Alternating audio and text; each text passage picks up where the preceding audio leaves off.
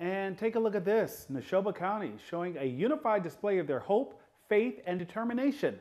Neshoba General and the Community Development Partnership encouraged the community to paint the town red today in light of COVID 19. Business owners were asked to display a red ribbon in their storefront, and residents were asked to wear a piece of red clothing. Participants of the event are asked to post their photos on social media using the hashtag #NeshobaWearsRed.